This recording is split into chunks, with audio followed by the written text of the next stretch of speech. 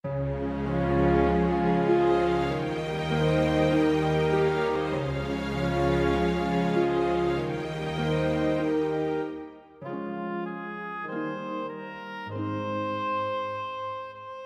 家好，我是恩恩。今天呢，我们为大家邀请到家族系统排列的老师易兰珍来跟我们分享，呃，家族系统排列里面心理疾病背后，呃，家庭真正的真相是什么？那我们现在来欢迎兰珍老师。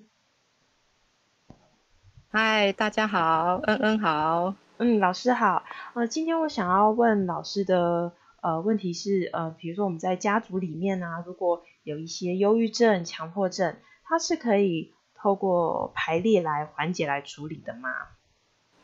哦，可以的，可以的。哦，呃，我们可以先了解哦，其实，呃，在家族系统里面，嗯，呃，有很多这种像心理或精神疾病，它背后其实都是要带给我们一些重要的信息。嗯，而这些呃家族中的这些信息。是需要我们呃重新去看见一些被排除的人，或者是一些呃我们所不知道的事件，啊，那这也是系统排列的关系法则里面有一个很重要的，就是整体法则。哦，所以老师的意思是说，如果是家族里面有心理疾病的呃问题的话，那可能是。在家族系统里面有人被排除吗？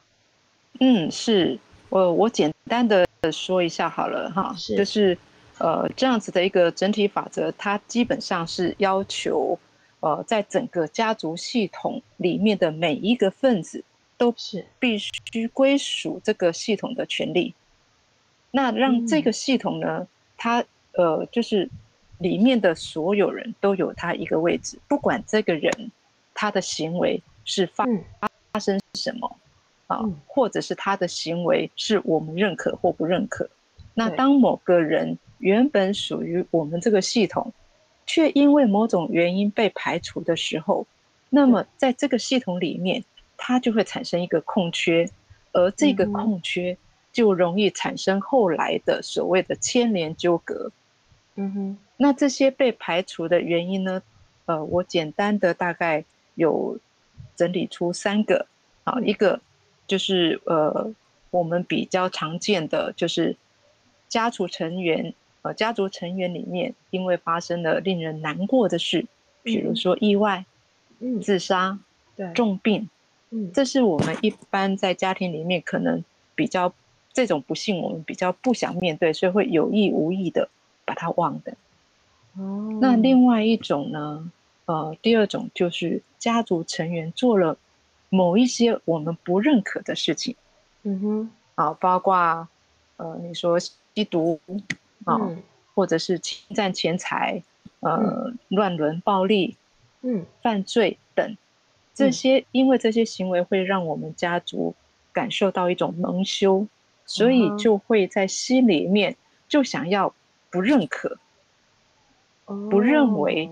他是家里的一份子，那他也会有一个黑洞。那第三个就是家族成员，呃，可能是出生很小就夭折，或者是呃，因为早以前的时代可能很小就被送走。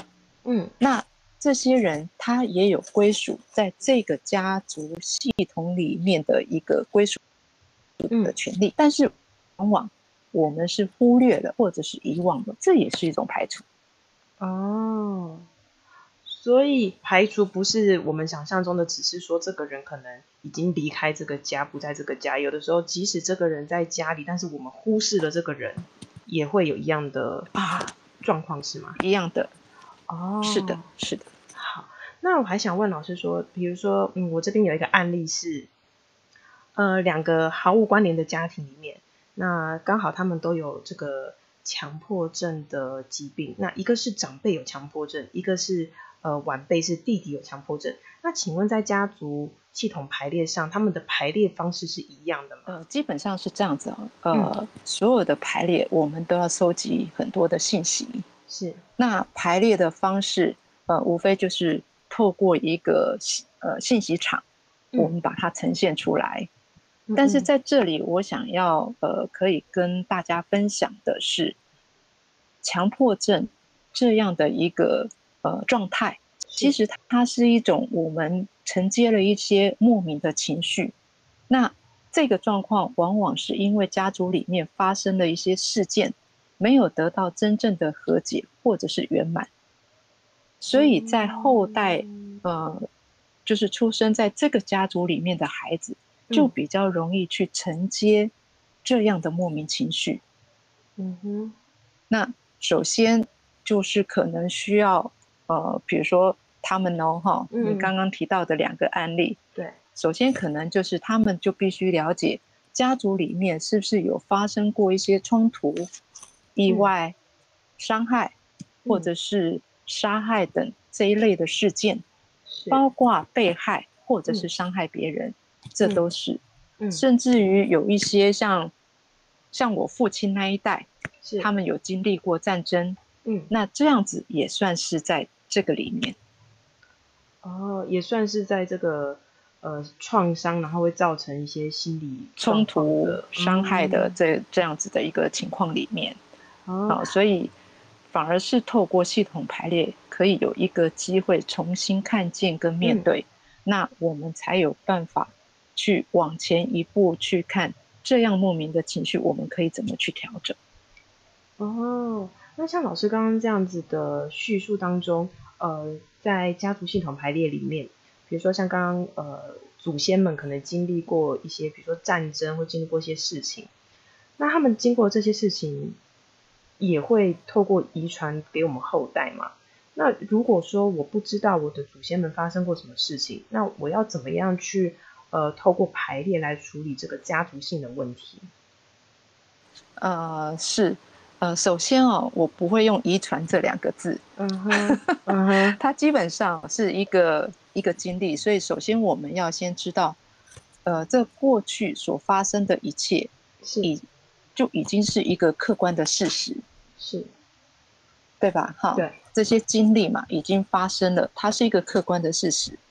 那这些经历本身，并不是决定一个人的成功或失败的根本因素哦。哦，所以我们并不会因为这些经历中的伤害而永远来痛苦，不会的。嗯，啊，所以我们不是要在过去的家族里面，呃，去寻找造成困扰的原因。嗯，而是我们要去知道，我们能够成为现在的我们是。都是因为有这些过去，有我们背后家族呃这些命运的经经历，嗯嗯，那我们才有机会，呃，等于是有一个机会重新在我们这一代，可以用呃透过一种尊重的学习生命的方式，嗯，呃，去了解生命带给我们的一些算是这我们专属这个家族的课题，嗯，那进一步。那就可以透过这个课题去领悟生命的智慧跟意义。嗯，那有一些人可能因为害怕，对，呃，对，可能因为害怕家族曾经先去找家族曾经有这些经历了啊，对，可能经历一些巨大的这些命运。那因为这个害怕而想要去切断跟家族过去的这些连接。嗯嗯，那这无疑就是像切断自己的根是一样的。嗯，其实应该也切不断吧？是，就是因为也切不断，对，所以相反，其实可以回过头来，好，那让我们重新看见家族经历这么巨大的命运，那么我们作为子孙的，呃，怎么样去转化这个力量？有时候，其实我在呃有好几个案例里面，其实看到他们反而更坚强，更有力量。嗯哼。